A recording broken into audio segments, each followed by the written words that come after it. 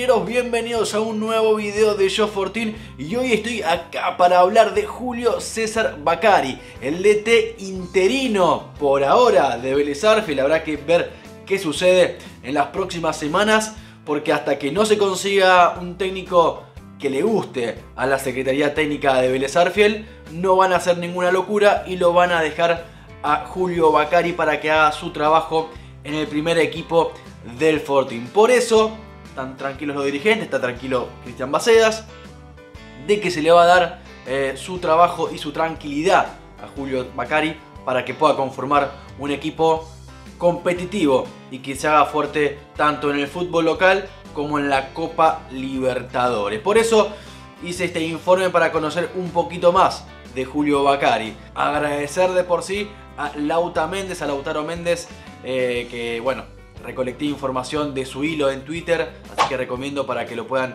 seguir a través de su cuenta de Twitter. Antes de pasar al informe, le recomiendo al hincha Vélez que, a que se suscriba al canal, que le dé like al video y que también active la campanita, así le notifica cuando subo un nuevo contenido. Ahora sí, vamos con el informe. Julio César Bacari nació en la provincia de Santa Fe, licenciado en Salud y Educación Física en la Universidad del Salvador desde el año 2005 y entrenador de fútbol desde el 2007. A pesar de no haber llegado a jugar profesionalmente, es un apasionado de la táctica y reconocido admirador de Marcelo Bielsa. Supo trabajar a su lado como colaborador externo en los análisis de video en el Athletic de Bilbao y Olympique de Marsella. Además de su trabajo como ayudante del técnico en cuestión, inició el proyecto Juego de Posesión, donde publicaba mediante su blog y canal de YouTube análisis y estrategias de juego. En su trayectoria como técnico estuvo al mando del Club Atlético Paz, donde salió campeón en 2011, y del Círculo Social y Deportivo General Belgrano, ambos de la Liga Regional Santafesina. De la mano de Gabriel Heinze dio el salto grande al fútbol de primera división. Al gringo lo acompañó como primer colaborador en las experiencias en Godoy Cruz, Argentinos Juniors, donde fue campeón del Nacional B, hasta arribar a Vélez Arfiel. Bacari fue un hombre de total confianza para Heinze. En muchas circunstancias llevaba a cargo gran parte de los entrenamientos de Vélez e incluso muchas veces era quien quedaba al mando del primer equipo. En marzo del 2020, cuando Gabriel Heinze deja su cargo de DT en el Fortín, Bacari toma la decisión de separarse del equipo de trabajo del gringo por el solo hecho de largarse como director técnico principal. En enero del 2021, con la asunción de Guillermo Morici como coordinador de inferiores, Bacari retorna al club de Liniers, pero en este caso como técnico de la reserva. Muchos juveniles que hoy ya tocaron primera, como Perrone, Lobato, Gómez, Castro, Bersasi, Garayalde, Osorio y otros, estuvieron debajo de su ala por mucho tiempo. Hasta es nombrado por muchos pibes de la cantera como el mejor técnico que tuvieron.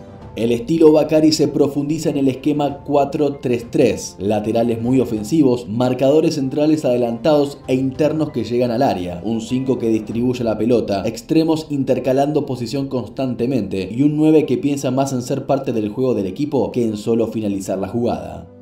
Discípulo de Bielsa que terminó de afianzar sus ideas junto con el pragmatismo de Heinze. Un nuevo estilo tendrá Vélez. El bacarismo llega por el momento para apagar el incendio que dejó Mauricio Pellegrino en el banco de suplentes. El tiempo y los resultados dirán si Julio César Bacari toma la posta definitiva para convertirse en DT de Vélez y no solo ser un interinato. La bacarineta está arrancando y veremos quién se sube primero. Ahí estaba la bacarineta, justamente ahí, donde se pueden subir muchos fortineros. Por ahora, obviamente, sin ver ningún partido, yo me quedo ahí. Pero si el próximo sábado Vélez consigue un buen resultado y un funcionamiento eh, mejorado de lo que veníamos viendo del equipo de Pellegrino, voy a ser el primero en subirme a esa bacarineta. Espero que les haya gustado este pequeño informe de Julio Bacari para conocer un poco más el nuevo técnico por ahora interino de Vélez Arfiel. Sin más que decirles, esto fue Yo Fortín.